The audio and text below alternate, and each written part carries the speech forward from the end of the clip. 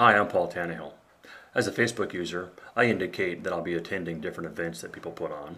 What I've had to do in the past, though, is then transcribe the date and time and the data regarding that event into my Google Calendar or my iCal or BusyCal that I use.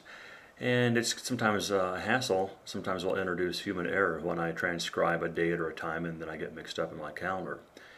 I've got a way, though, that I can export my Facebook events into my BusyCal slash iCal and Google Calendar.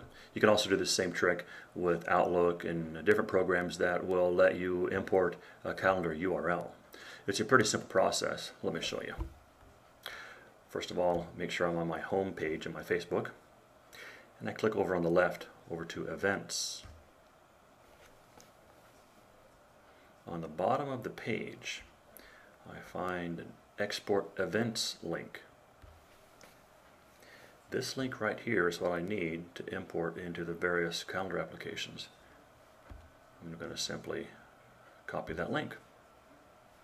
I can go to my Google Calendar and under the Other Calendars area I click on Add and I want to add by URL. I simply paste into the field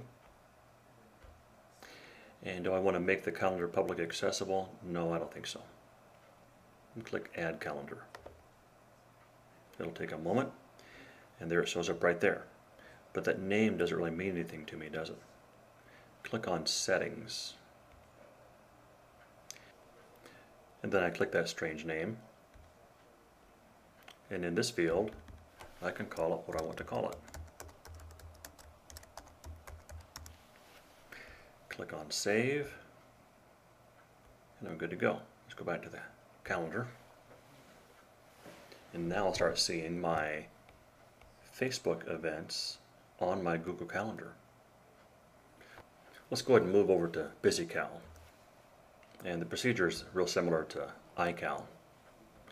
Go up to the calendar menu and go down to subscribe to WebDAV calendar. It asked me for the calendar URL. I paste it in there. I won't need any of this login password stuff. And click OK. I don't know why it calls it EU, but of course I can call it whatever I want.